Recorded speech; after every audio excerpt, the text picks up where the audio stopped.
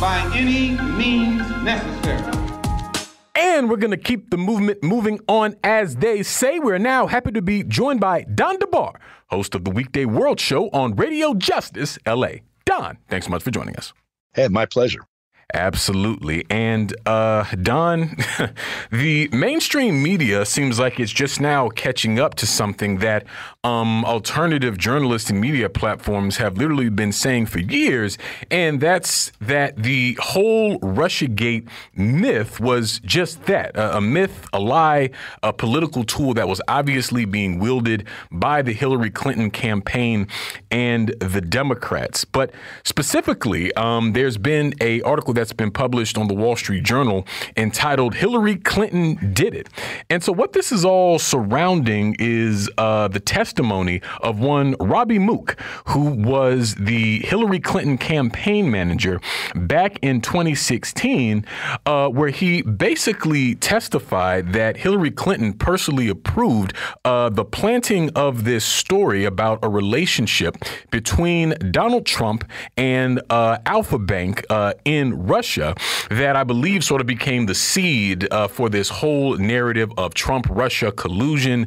which just had, I think, just a serious deleterious uh, uh, impact on the politics and political consciousness inside the United States that we're literally continuing to live through right in this moment. And so, I mean, I personally feel that uh, you know, um, you know, folks with our uh, analysis have already sort of been vindicated on this issue. But I'm just wondering how your how this is sort of striking you in this moment uh, now that the damage of RussiaGate has already been done. Yeah, and and quite a bit of damage it is too. Uh, if you look at the fact that we're at the precipice of nuclear war with Russia, it's it's hard to imagine uh, something that could be worse as a legacy of a failed election campaign. Um, you know, we were reporting on this stuff. I, I, I was covering the, this election very closely. As you guys know, uh, Professor Tony Monteiro and I went to both of the conventions. We interviewed people, you know, in Cleveland at the Republican convention, you know, and the people in Philly at the Democratic convention, witnessed all kinds of stuff, reported on it contemporaneously. And, you know, this whole myth was being uh, assembled and perpetrated uh, at that time. the report, for example, in Sputnik uh, about the intercepted intelligence um, that supposedly provided some context for this was the 26th of July, 2016. That was during the Democratic National Convention. And we heard this being rolled out at the convention from, from the dais, from the stage, uh, with and and even before that, you remember Matt Lauer's um, interview. It was sort of like a serial interviews the passing as a debate uh, with uh, Trump and Clinton. Clinton uh, said something that if Trump is elected, it'd be like uh, Christmas in the Kremlin or some such thing. She, you know, the the whole myth that Trump was uh, President of Vladimir Putin's puppet um, that he was going to be installed and at the service, you know, by and at the service of uh, Russia's government. That they were selling that even before they got to this, and this thing that's supposed to be a primary piece of evidence that helped this disease jump species from, you know, the, uh, say, like if you're talking about monkeypox, uh, the monkey press, like Slate and, you know, all these other underground corporate outlets into the, you know, so called human press, the New York Times and Wall Street Journal and, you know, the NBC, ABC, etc. This was the vehicle. If you take a look at the New York Times the week before the election, which I just did, you know, preparing for this conversation, uh, and uh, we lived through it, so I remember it. Uh, you know, Slate publishes this article uh, that seems to uh, say that says there's a link between Alfa Bank, which is, you know, among other things, a lender to people like Trump, who's a developer, there's a link between them and the Trump campaign, which says basically Vladimir Putin's oligarchs are, you know, paying off Trump. That's the, the, not even the subtext. Some some of the newspaper articles essentially said that. That was published October 31st. The election was November 8th. That's eight days later. In the intervening period, it's not in just Slate. It's in the New York Times. There's four articles about this between uh, November, uh, October 31st and November 8th, just in the New York Times. Um, also, the Wall Street Journal, and again, all these others, CNN and MSNBC, were beating on it 24 7. And this afterwards gives birth to this whole the investigation that took place, including an attempted impeachment over, over the entire time he was in office, that, among other things, left him unable to try to normalize relations with Russia, which was one of the things that he promised to do. And so here we are now about to have a nuclear war, perhaps. I hope not, but it sure as hell looks possible. And, and this is it's definitely not not even a child of this thing. It's like a clone of what was done in, in 2016.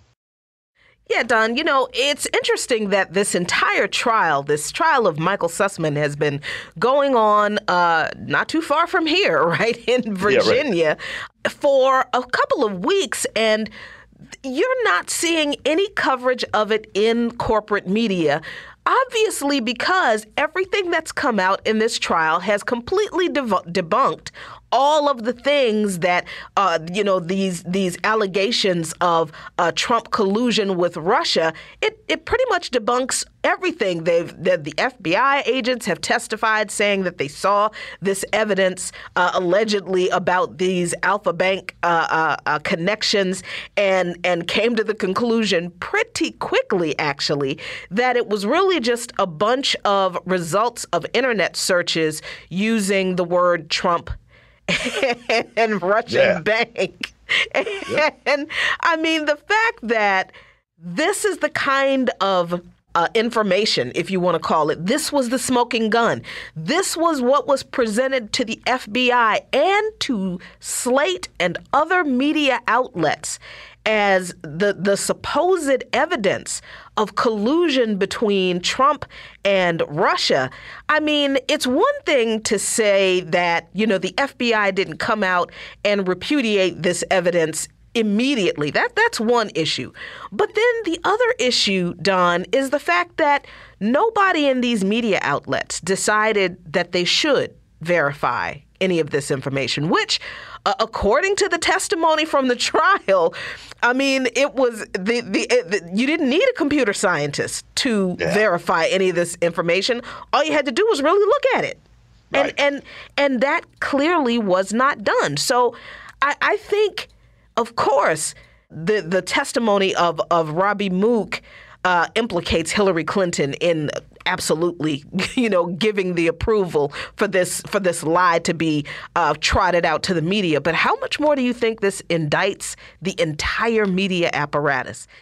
Not just the media apparatus, okay? I'm looking at the, the story, for example, that's linked from the Sputnik story about this um, at the Hill.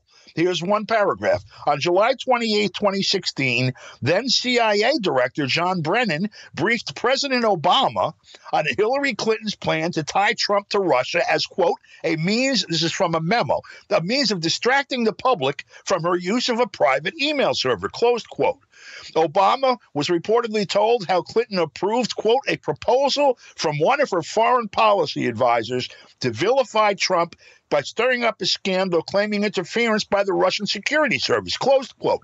After that, for months, everywhere, government officials, the media, FBI investigations, CIA, 17 flavors of intel agencies are all talking about, and then millions and millions of dollars in an investigation and, and everything else from every corner of the government, corporate media, and every institution in, in the country as if this thing were real when everyone knows, particularly the people quarterbacking it, that it wasn't. And it's it's it's portrayed now as if this was this one political party and, and construct, you know, trying to block a, another one, even an insurgent one to the whole. Okay, fine, that's that's part of it. But this was really a propaganda war, that, and perhaps it's going to be a nuclear war against the people of the United States because we were not allowed to know what was going on for the election. And just about everyone in interest, from the government to the media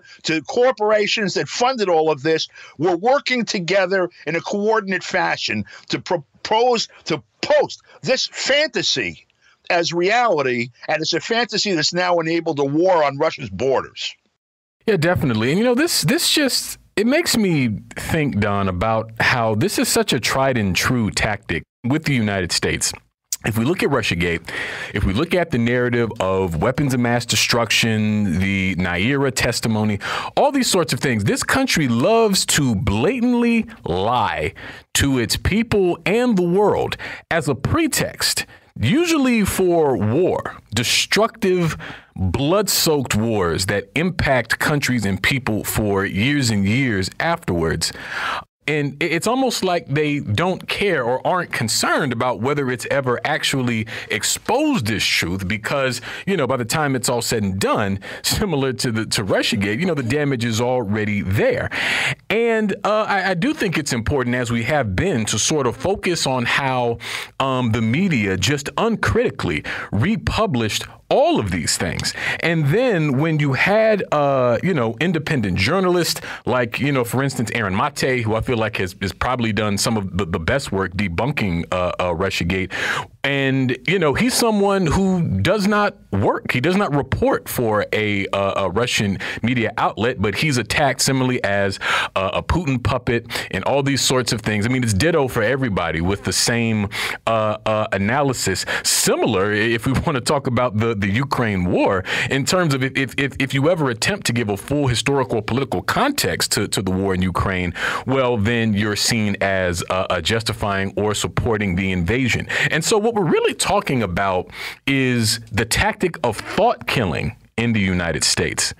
And the reason why it's so important to do that is because it creates a susceptible population for the U.S. government to do what, whatever it wants to do. But within that, they're being told that they're being informed. And, you know, I don't even know if I have a question within that. I just don't think we realize how deep the propaganda is in the U.S. Yeah. You know, people are primed for it. First of all, the education system does not excel at teaching people how to think critically. Um, it certainly does not explain the legal and political functioning of the political economy in the United States. Uh, and that's including for people that get uh, advanced uh, degrees, doctorates, PhDs, and uh, master's degrees in, you know, postgrad degrees in economics, political science, etc. The average person uh, who has a high school education and maybe uh, two or four years at a state university is completely bewildered when they confront the you know politics in the United States. And so when and and also how the media operates, people don't understand the business model. They don't understand the relationship uh, between uh, people who are in the news, press releases, the whole m- mechanism of how all of that works, and also the editorial uh, control that exists and the uh, unity of uh, identity of ownership of the media across the six or seven major platforms that exist now. And so whatever comes out of their TV set is bewildering to people who are already bewildered in the world that they've been turned loose in.